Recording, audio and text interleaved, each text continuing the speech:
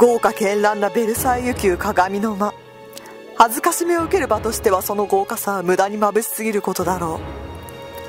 う。ロアン大司教がミサの直前に首飾り事件首謀者の一人として鏡の間で逮捕された後3日後にはジャンヌ・ドラモット夫人をはじめとする事件関係者が次々と逮捕され国王夫妻は最高司法機関であるパリ高等法院において関係者全員の裁判を委ねた。1786年5月31日。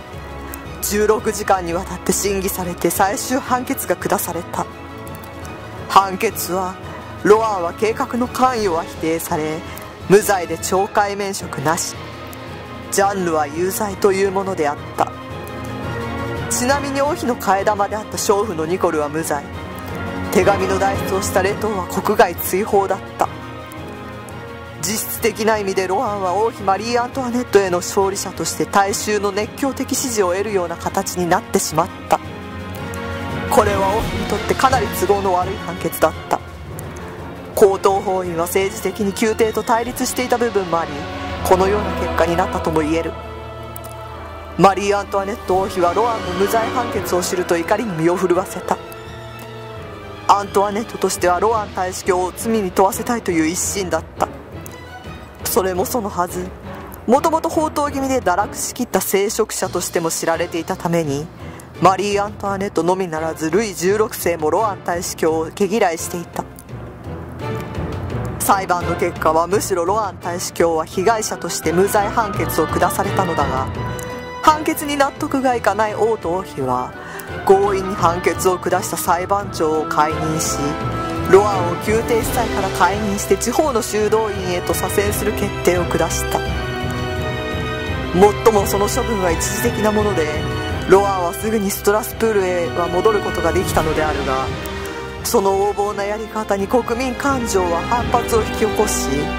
フランス王室の権威を揺るがしかねない一大スキャンダルとしての街の話題をさらったのだった。ロアンは犠牲者であり王妃がロアンの寵愛の見返りとして首飾りを贈らせた。ロアンを利用して宝石を売りさばいた金を母国オーストリアに送金している。王妃はフランス国民の敵。オーストリア女の赤字夫人を許すな。王妃であるアントワネットの浪費癖の噂とオーストリア出身の外国人ということがすでに国民の反感を生んでいたさなかその批判の声は過熱した。王妃の人気が失落するのに反比例するかのようにジャンルを庇護する声は多く上がり始めていた。瞬く間に時の有名人となったジャンヌは罪人であるにもかかわらず一部の国民の人気を得ていた。ジャンヌの最大の魅力はその声と話し方にあったという。自然は彼女に危険な説得力という才能を与えた。とはこの事件の裁判でのある人物の発言である。そしてこの負の国民感情をさらに煽ったのはパレロワイヤルから資金が調達されて次々と印刷される大量のパンフレットや小冊子だ。もちろんその首謀者はパレロワイヤルに居住し王位を狙い続けるルイ16世の桃園のオルレアン公である。オルレアン公に加担して王妃を貶めるための活動をしていた貴族は他にもいたかもしれない。というのもそもそも第一身分である聖職者のロアンが公の場で裁かれたことはロアン一族にとって屈辱的だった。当時のフランスの身分制度は第一身分の聖職者第二身分の貴族第三身分の平民で構成されていた。第一身分の聖職者はフランスの人口の中約0.5%と限られた少ない人間で構成されていたが言うまでもなくその0.5%は頂点の有力者であり王家を支える力強い味方である層だったはずなのだ。王と王妃はこの事件で第三身分の平民だけでなく第一身分と第二身分の人間を敵に回した。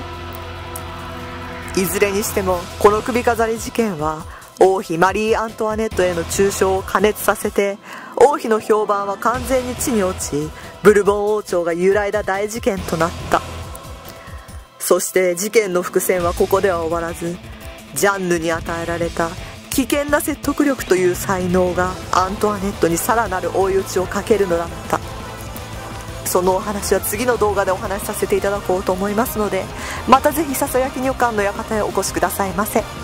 本日は最後までご視聴いただきましてありがとうございました。